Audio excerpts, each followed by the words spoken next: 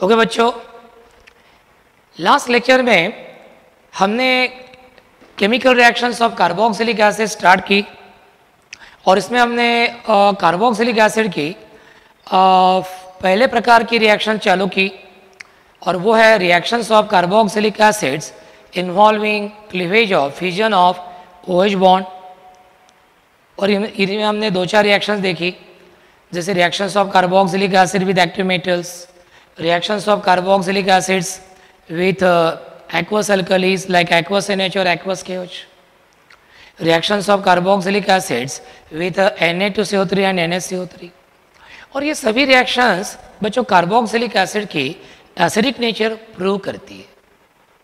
Okay आज हम carboxylic acid के एसिडिक नेचर के बारे में और थोड़ी सी जानकारी लेते छोटा सा ही लेक्चर लेंगे आज और थोड़ी सी जानकारी लेते हैं। अब जैसे बच्चों देखो S C L H two H N O three these are the inorganic acids mineral acids and we know that they are very strongly acidic in nature they are very strongly acidic in nature carboxylic acids ये organic acid है, क्योंकि उनमें carbon है। Sulphuric acids को यदि छोड़ दिया जाए तो among among the organic acids carboxylic acids are the most acidic in nature carboxylic acids are the most acidic in nature among the organic acids only however they are very weak acids as compared to mineral acids like HCl HNO3 H2SO4 etc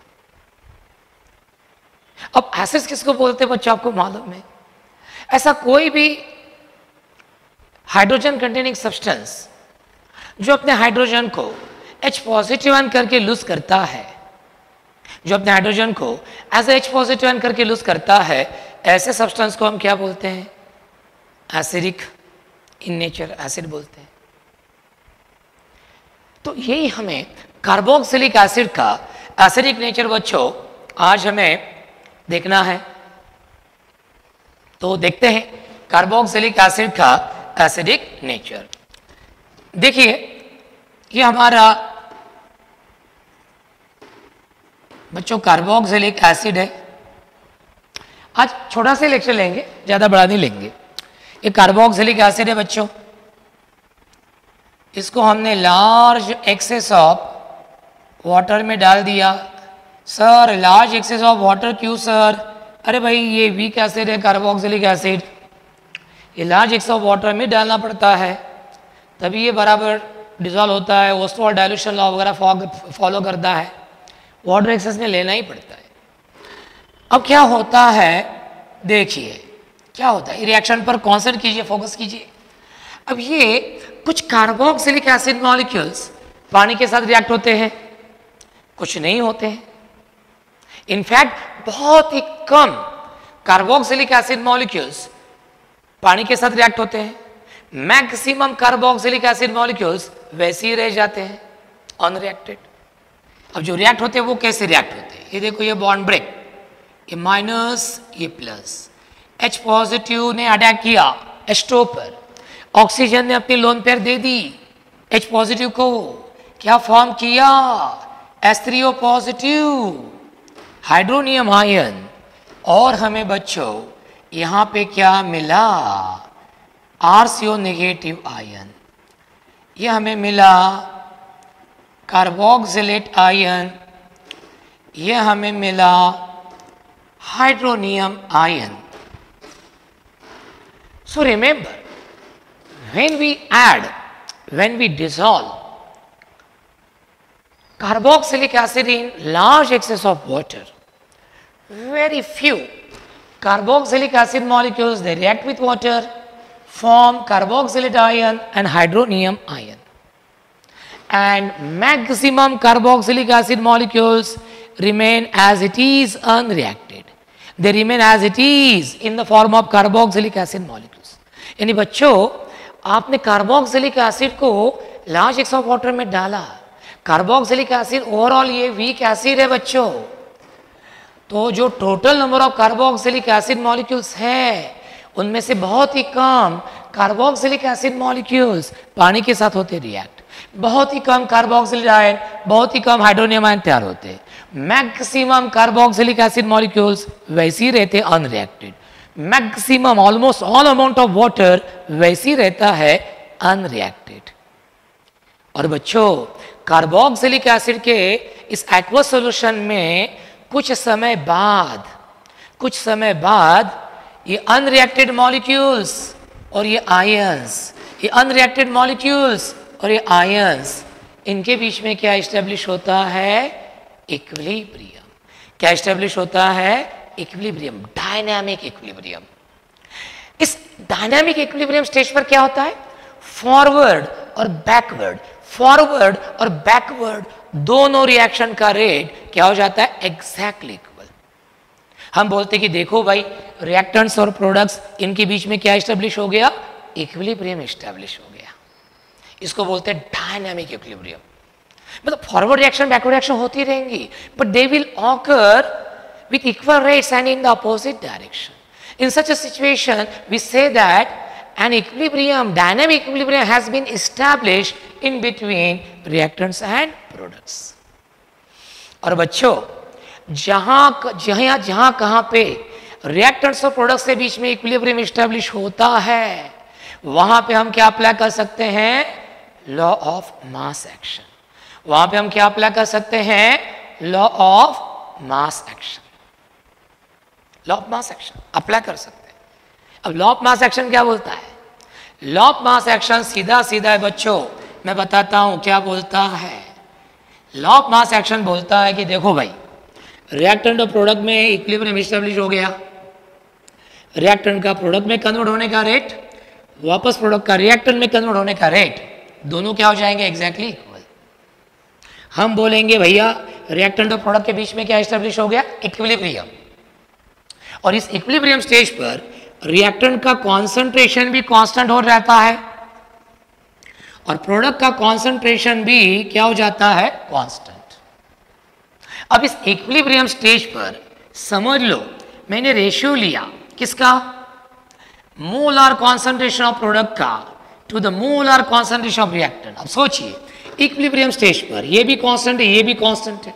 तो दोनों constant term का ratio भी क्या आएगा? Constant and this constant is denoted by K equilibrium. This constant is denoted by K equilibrium. ये बात law of mass action एक statement के माध्यम से मैं बचाता है, बताता है। So what is the statement of law of mass action law of mass action का स्टेटमेंट क्या है? वेरी सिंपल देखिए क्या है. Law of mass action states that when an equilibrium at constant temperature when an equilibrium is establish in between reactant and products then the ratio of molar concentration of products to the molar concentration of reactants is always constant और एक बार ध्यान से सुनिएगा। Chemical kinetics में पुरुषोत्तम sir आपको पढ़ाएँगे ये definition ये concept law of mass action states that at constant temperature when equilibrium is establish in between reactants and products then the ratio of molar concentration of products to the molar concentration of reactants is always constant is always constant यानी बच्चों law of mass action क्या बता रहा हमें? ये बता रहा कि देखो भाई जब रिएक्टेंट और प्रोडक्ट के बीच में इक्विलिब्रियम स्टेप्स होगा। At equilibrium stage reactant product दोनों का कॉन्सेंट्रेशन क्या बन जाएगा? कांस्टेंट और एट इक्विलिब्रियम स्टेज यदि आप प्रोडक्ट के मोलर कॉन्सेंट्रेशन का रेशियो रिएक्टेंट के मोलर कॉन्सेंट्रेशन के साथ लेते हैं तो इस रेशियो का आंसर भी क्या आएगा? कांस्टेंट क्योंकि दोनों टर्म कांस्टेंट है। कांस्टेंट टर्म का रेशियो भी कांस्टेंट आएगा जिसको हम के इक्विलिब्रियम लिखते हैं। यही है लॉ ऑफ़ मास एक्शन तो समझ में आ गया लॉ ऑफ़ मास एक्शन क्या बोल रहा at constant temperature when equilibrium is established in between reactants and products, then the ratio of molar concentration of products to the molar concentration of reactants is always constant. This is called as law of mass action. This is called as law of mass action. चलो law of mass action apply करते हैं। यहीं पे भी ये product है, ये reactant है। इसको law of mass action apply करते तो K equilibrium is equal to क्या होगा? कॉन्सेंट्रेशन ऑफ़ प्रोडक्ट यानी कि molar concentration of RCO negative ion into molar concentration of S3O positive ion upon molar concentration of unreacted carboxylic acid at equilibrium stage into molar concentration of unreacted water at equilibrium stage ये आ गया law मास action apply किया बच्चों चलो जाते हैं आगे यहाँ तक कि आपको अच्छे से समझ में आ गया समझ में आया ना अब आगे जाते हैं अब देखिए बच्चों वाटर लिया हमने बहुत लार्ज एक्सेस बहुत ही ज़्यादा लिया। और यूज़ होता है बहुत ही कम। उस लार्ज एक्सेस ऑफ़ वाटर में से negligible amount of water react with carboxylic acid इसे होता क्या है? जितना वाटर हमने लिया था, उससे बहुत ही इतना सा वाटर रिएक्ट होता है, निक्लिजिबल। तो जितना वाटर हमने लिया प्रैक्टिकली ऐसा लगता है कि जितना वाटर हमने लिया, उतना एज इट इज़ बाकी है। ऐसा लगता ही नहीं कि कुछ रिएक्ट हो गया वाटर क्योंकि लिया बहुत ज़्यादा और रिएक्ट हो गया बहुत कम। जैसे समझ लीजिए, कोई शक्कर की बोरी उठा रहा, अब शक्कर की बोरी है, समझ लो सौ किलो की, कितना वेट ज़्यादा, कितने शक्कर के पार्टिकल्स है शुगर पार्टिकल्स कितने होंगे? करोड़ों में। और समझ लो ये बोरी उठा के मैं यहाँ से वहाँ ले जा रहा हूँ, उसमें से दो चार शुगर पार्टिकल्स गिर गए। तो बोरी, शक्कर के बोरी के वज़न में कोई फ़र्क पड़ेगा क्या? कुछ भी नहीं फ़र्क पड़ेगा। क्योंकि जो टोटल अमाउंट है शुगर पार्टिकल्स का, उसके हिसाब से जो गिरे पार्टिकल्स वो तो कुछ भी नहीं है निग्लिजिबल है। तो जो शक्कर की बोरी है, उसके वेट में कोई फ़र्क ही नहीं पड़ेगा। जो वो शक्कर की बोरी ले जा रहा है, उसको मालूम ही नहीं पड़ेगा कि दो चार पार्टिकल्स गिरे हैं क्योंकि निग्लिजिबल अमाउंट है। टोटल अमाउंट की तुलना में। यहाँ पे भी वही बात हो रही है। लिया बहुत वाटर ज़्यादा, और इसके साथ रिएक्ट हो गया बहुत ही कम। बहुत ही कम, बहुत ही कम। इससे होता क्या है? प्रैक्टिकली ऐसे लगता है कि जितना हमने वाटर लिया, उतना एज इट इज़ बाकी है। प्रैक्टिकली ऐसे लगता है कि जैसे वाटर मॉलिक्यूल का कॉन्सेंट्रेशन प्रैक्टिकली क्या है? कांस्टेंट ऐसे लगता ही नहीं कि कुछ डिक्रीज हो गया रिएक्ट हो गया। लिया बहुत ज़्यादा रिएक्ट हो गया बहुत ही कम, बहुत ही कम। तो practically in this reaction, the concentration of water remains constant. तो यहाँ पे बच्चों, हम कांस्टेंट लिखेंगे। चलो, इधर आ जाओ। अब equilibrium is equal to molar concentration of R C negative ion at equilibrium stage into molar concentration of hydronium ion at equilibrium stage upon molar concentration of unreacted carboxylic acid equilibrium stage into constant चलो constant को इधर लाओ। तो K equilibrium into constant is equal to क्या होगा?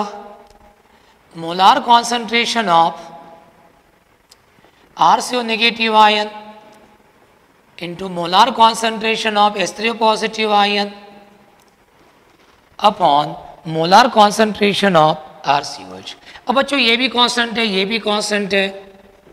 दो constant terms का product हमेशा क्या होता है? एक नया कांस्टेंट अब ये जो नया मॉडिफाइड इक्विलिब्रियम कांस्टेंट है, इसको हम दिखाते हैं बच्चों के ए से। किसी दिखाते हम इसको? के ए से। के ए and this K A is equal to molar concentration of RCO negative ion into molar concentration of S3 positive ion upon molar concentration of unreacted carboxylic acid at equilibrium stage. What is K? K actually it is the modified equilibrium constant in दोनों का product है K. It is called as uh, dissociation constant of weak acid or it is called as ionization constant of weak acid. It is also called as acidity constant of weak acid. Acidity constant of weak acid. तो ये expression बच्चों हमें ये मिला ये मिला K is equal to molar concentration of R negative ion into molar concentration of S3 positive ion upon molar concentration of RCOOH. Where K is the modified equilibrium constant, it is called as dissociation constant of weak acid, ionization constant of weak acid or acidity constant of weak acid. हर carboxylic acid के लिए at a given temperature के की value fix होती है क्या आप बताएँ मैंने देखो हर कार्बोक्सिलिक एसिड के लिए एट अ गिवन टेम्परेचर के की वैल्यू फिक्स होती है के की वैल्यू क्या होती है? फिक्स होती है एट अ गिवन टेम्परेचर ये हो गया। अब सोचिए के की वैल्यू और कार्बोक्सिलिक एसिड का एसिडिक नेचर इनमें क्या रिलेशन है? सोचिए कार्बोक्सिलिक एसिड इधर आइए। कार्बोक्सिलिक एसिड जितना ज़्यादा पानी के साथ रिएक्ट होगा डिसो होगा, उतना आयंस का कॉन्सेंट ज़्यादा रहेगा। बराबर? अब इधर आ जाइए। अब आयंस का कॉन्सेंट ज़्यादा रहेगा तो के की वैल्यू भी क्या रहेंगी? ज़्यादा। और इस इस इस हाइड्रोनियम आयन की कॉन्सेंट्रेशन जितना ज़्यादा, उतना कार्बोक्सिलिक एसिड का एसिड नेचर भी क्या रहता है? ज़्यादा। एक बार और देख लीजिए। कार्बोक्सिलिक एसिड पानी के साथ जितना ज़्यादा रिएक्ट होगा, उतने आयंस का कॉन्सेंट ज़्यादा, ये आयन का कॉन्सेंट ज़्यादा एसिडिक नेचर ज़्यादा, और इसका कॉन्सेंट ज़्यादा तो के की वैल्यू भी ज़्यादा। यानी आपको बच्चों, समझ में आया होगा कि acidic nature of carboxylic acid is directly proportional to K value acidic nature of carboxylic acid is directly proportional to k value of acid. कितना आसान है बच्चों। मतलब कार्बो कार्बोक्सिलिक एसिड और तो वीक एसिड ही होते हैं। अब कार्बोक्सिलिक एसिड में कोई थोड़े ज़्यादा एसिडिक कोई थोड़े कम एसिडिक तो कार्बोक्सिलिक एसिड की के वैल्यू जितनी ज़्यादा, उतना उसका एसिडिक नेचर भी ज़्यादा। ये रिलेशन आपको ध्यान में रखना है बच्चों। कभी कभी नीट एग्ज़ाम में पीएमटी पीटी एग्ज़ाम में जेमेन एग्ज़ाम में क्या करते हैं? वो बोलते कि देखो भाई, चार कार्बोक्सिलिक एसिड है और उनकी के वैल्यूज़ है ए बी सी डी इनमें से कौन सा कार्बोक्सिलिक एसिड ज़्यादा एसिडिक होगा? तो सीधी सी बात है बच्चों, जिस कार्बोक्सिलिक एसिड की के वैल्यू मैक्सिमम उन चार में उसका असर नेचर सबसे ज़्यादा।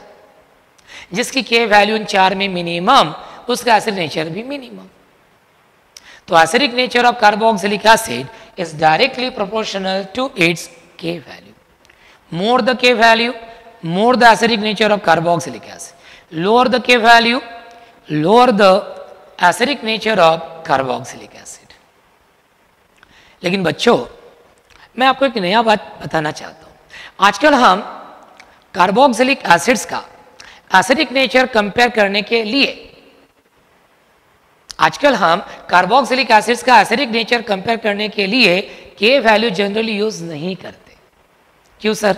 अरे भाई, ये के वैल्यू ऐसी आती है।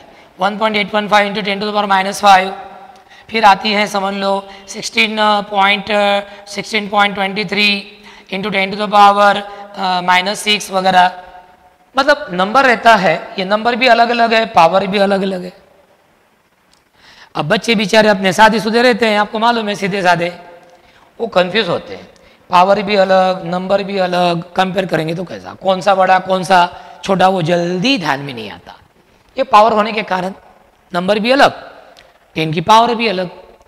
तो students cannot compare K values of carboxylic acid very easily they get confuse क्या करना फिर? इसीलिए कार्बोक्सिलिक एसिड्स का एसिडिक नेचर इजीली कंपेयर करने के लिए साइंटिस्ट लोगों ने, बच्चों, तुम्हारे लिए एक नई कॉन्सेप्ट बताई और वो नई कॉन्सेप्ट है, बच्चों, इधर आ जाइए।